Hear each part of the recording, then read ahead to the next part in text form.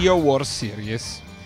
Questo è un posto ovviamente caro a tutti noi giocatori di poker perché io che sono riuscito a vedere, perché ho giocato due anni le World Series all'Orshu, ho visto un cambiamento quando sono passate a Rio incredibili.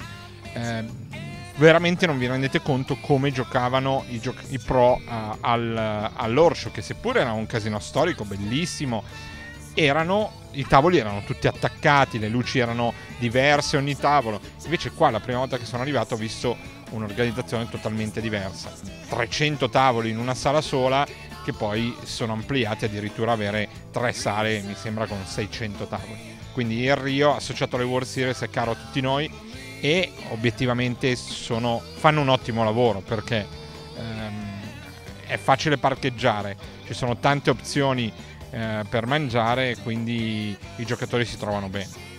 Poi ovviamente i braccialetti li ho vinti entrambi qua a Rio, quindi per me eh, la sala storica che è l'Amazon avere vinto due braccialetti lì ogni volta che entro eh, è ovvio che mi vengano un po' i brividi e la sento un po' mia, quindi è come se fosse la mia seconda casa.